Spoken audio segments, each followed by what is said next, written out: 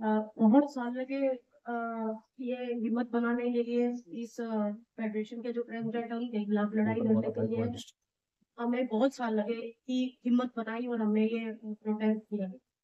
लेकिन आज सब आपको नतीजा पता ही है कि प्रेसिडेंट जो है उसी का उसके बेटे से भी फिर ये उसका राइट हैंड यू मान लो प्रेसिडेंट बना है आज वैसे फेडरेशन तो जो सरकार ने कमिटमेंट की थी वो पूरी नहीं हुई। हमारी मांग थी महिला प्रेसिडेंट कि। महिला प्रेसिडेंट होगी तो शोषण नहीं होगा। लेकिन ना पहले महिला प्रेसिडेंट ना महिला का कोई भागीदारी थी। आज आप पूरी उसकी लिस्ट उठा के देख लो एक भी महिला को कोई स्थान नहीं दिया गया।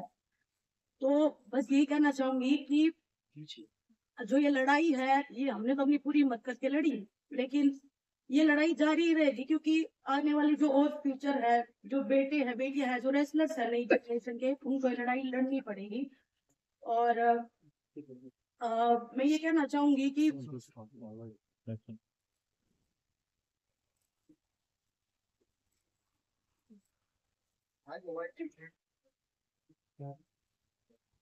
में हम तो चालीस दिन सोए थे, लेकिन मैं सभी तमाम देशवासी जो भी हमारे प्रोटेस्ट में आए, दूर दूर से आए, बूढ़ी महिलाएँ आई, बहुत सारे लोग ऐसे आए, जिनके पास खाने कमाने के लिए नहीं है मीडिया में सपोर्ट करने आए। हम नहीं जीत पाए, पर आप लोगों का बहुत बहुत धन्यवाद।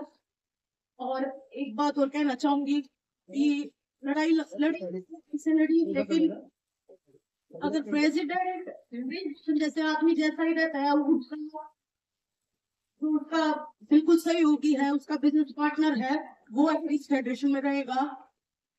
तो मैं अपनी कुश्ती को त्यागती हूँ और मैं आज के बाद कभी भी अरे यार क्या कर बस रहे सभी देशवासियों को धन्यवाद।